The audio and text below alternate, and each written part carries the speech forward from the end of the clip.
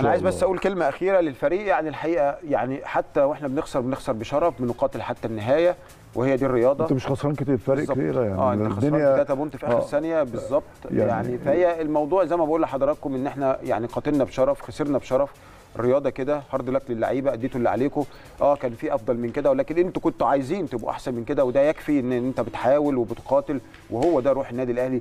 ممكن تخسر في آخر ثواني زي ممكن تكسب في آخر ثواني. عندنا لسه بطولتين جايين مهمين. نفكر فيهم نشتغل عليهم. إن شاء الله. لازم نكسب البطولتين الجايين وانتوا قدها ودعوتونا كده إن دايما في المواقف آه، الصعبه بشكركم شكرا جزيلا. وكاحمد الجرحي بس عايزين برضو طبعاً، تحمل طبعاً. المسؤولية في وقت يكرمه صعب جدا. وإن شاء الله نشوفه من أحسن المدربين. الموجودين في مصر. أعزائي المشاهدين بشكركم شكرا جزيلا وحسن المتابعة وإلى جولة جديدة من جولات استوديو الأبطال.